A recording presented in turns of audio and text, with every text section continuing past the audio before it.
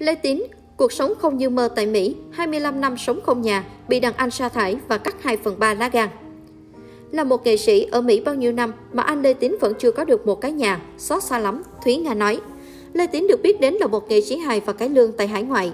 Tên tuổi nghệ sĩ Lê Tín không quá nổi danh nên không nhiều khán giả biết tới anh. Tuy nhiên, nghệ sĩ Lê Tín cũng từng góp mặt trong rất nhiều vở hài kịch cùng những doanh hài lớn như Thúy Nga, Kiều Anh, Út Mập.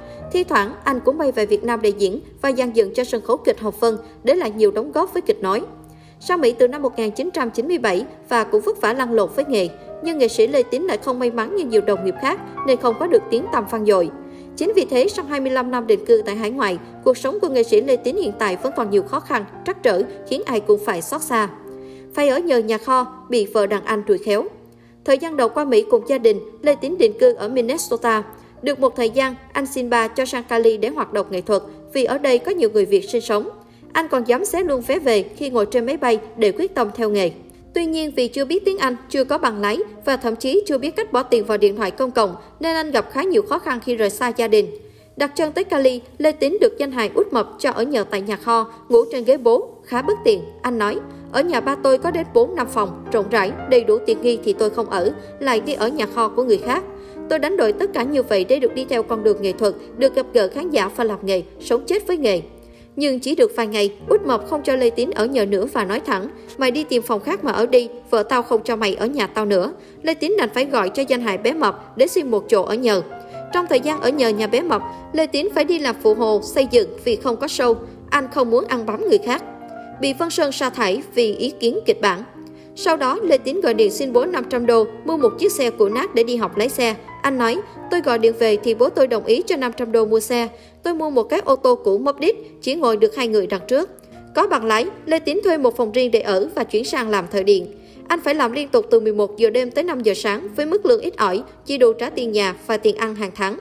Một thời gian sau, Lê Tín may mắn được Vân Sơn gọi tới, cho vào trung tâm của đàn anh để quay vở kịch đầu tiên. Lê Tín phải tự tay viết kịch bản để đưa cho Vân Sơn duyệt. Tuy nhiên, đến khi nhìn lại kịch bản thì một sự cố đã xảy đến, khiến anh phải tạm bỏ nghề diễn. Anh kể lại, quay xong tôi nhìn kịch bản mới hoảng hồn vì rõ ràng đây là kịch bản mình viết mà tên tác giả lại là Hoắc. Tôi hỏi anh Út Mộc thì anh ấy bảo, mày là nghệ sĩ mới, là Hoắc nên tao phải để tên khác, không thì chẳng ai coi hết. Tôi đồng ý nhưng cũng nhắc thêm, lần sau anh bảo anh Vân Sơn nhớ để tên em. Không hiểu sao, tôi chỉ nói có thế mà bị Vân Sơn gạt ra khỏi trung tâm, không đi diễn được. Thế là tôi phải quay về, đi làm hàng tiếp phải cắt 2 phần 3 lá gan. Sau này, Lê Tiến được nghệ sĩ Kiều Oanh thương tình, rủ đi diễn nhiều nơi tại hải ngoại và trải qua nhiều thăng trầm. Trong đó biến cố lớn nhất là phải cắt đi 2 phần 3 lá gan, khiến anh rơi vào tuyệt vọng, bế tắc, anh tâm sự. Giai đoạn tôi cảm thấy bí bách nhất, gần như không còn lối thoát, có lẽ là thời điểm dừng diễn chung với Kiều Anh. Lúc đó, tôi vừa quay xong với chồng chú vợ tôi hai ngày thì bị nhiễm trùng gan, phải nhập viện mổ luôn và cắt 2 phần 3 lá gan. Lúc đó sâu với Kiều Anh đã nhận hết rồi, nhưng tôi không đi được nên phải nhờ Lê Huỳnh diễn dùm. Hai tháng sau khi bình phục, tôi mới biết Lê Huỳnh đã thay thế tôi diễn với Kiều Anh luôn, thế là tôi mất chỗ. Lúc đó tôi cũng lo vì mình sống bằng nghề đi hát, đi diễn, giờ không biết làm sao. Nhưng may mắn thay tôi vẫn được tổ thương. Sau này tôi gặp chị Trang Thanh Lan, chú Bảo Quốc, Thúy Nga, Quang Minh, Hồng Đào, ai cũng thương và chấp nhận đi diễn với tôi. 25 năm ở Mỹ vẫn chưa có nhà. Hiện tại, nghệ sĩ Lê Tín đã ở tuổi gần 50 và trải qua 25 năm định cư tại Mỹ, nhưng cuộc sống vẫn rất bấp bênh. Anh thậm chí vẫn chưa có nhà riêng mà phải share phòng với một người bạn. Công việc hiện tại của Lê Tín cũng không đủ tạo cuộc thu nhập bền vững cho anh, chủ yếu để thỏa đam mê. Anh chia sẻ, hiện tại tôi không chỉ đi diễn mà còn kiêm luôn nhiều việc trong đoàn cải lương như phục trang, make up, làm tóc. Tôi tự làm hết mọi thứ cho anh em chứ không có ai trả lương hết, chỉ có tổ nghiệp trả thôi. Nói thật với mọi người, cải lương hiện tại dù trong nước hay ngoài nước cũng ế ẩm, khó lòng kiếm được tiền. Chúng tôi cố gắng duy trì hoạt động để giữ lửa cho bộ môn nghệ thuật này tại hải ngoại thôi. Mọi người đừng nghĩ các công việc khác tôi làm đơn giản, phức tạp lắm. Riêng việc mặc phục trang cho nghệ sĩ cải lương đã lằng nhằng, khó khăn rồi nên tôi phải làm giúp mọi người.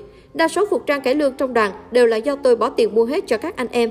Tôi đam mê nên đầu tư cho nghề này lắm. Ở phòng tôi đang có một nhà kho nhỏ và phải có đến hàng trăm bộ đồ diễn trong đó, nhiều lắm, từ quần áo tới mũ mã, đầu cụ. Trước giờ khán giả thấy tôi diễn hài nên cứ nghĩ tôi chỉ là diễn viên hài, nhưng thực sự thì đam mê của tôi dành nhiều cho cải lương hơn.